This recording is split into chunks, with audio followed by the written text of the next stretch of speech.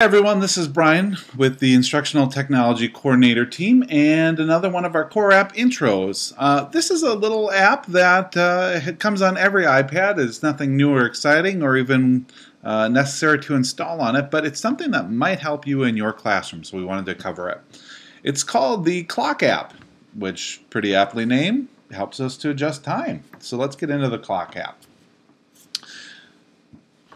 One of the things we can look at within the clock app is just setting our, our world clock and uh, editing what sites we see. It is nice to see, though, that you have a quick look at different time zones. Not something we may necessarily use every day, um, but let's think about, for instance, Skyping with somebody from a different country, different continent. Um, this might be a way for you to quickly show your kids as you're projecting this up on the screen using either the uh, Air Server app or a Apple TV or something like that. This might be a way for you to have your kids start to think about when would be an appropriate time to Skype with somebody from a different time zone or to hang out with them or whatever it might be that you're doing. Uh, phone, phone conference call, that kind of thing. So one possible use of it. It's nice to know that's there. Another one that uh, you may or may not use is the alarm set here. This is just an alarm clock. Probably not a ton of educational uses, but you might be able to find some. But I do have one that might be of use to you.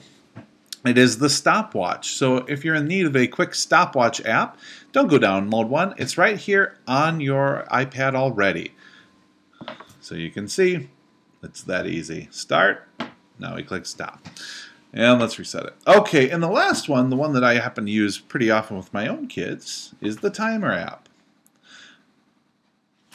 Kids, you have six minutes to uh, meet in small groups, converse about the topic that was just discussed uh, in class, and come back to us and begin now. So you can see that this would work as we go. Wait, I've got some instructions for everybody hang on, I don't want this to count against your time. And now we're going to go ahead again.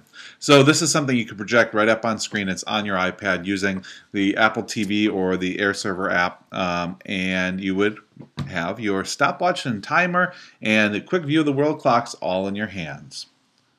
Thanks for listening.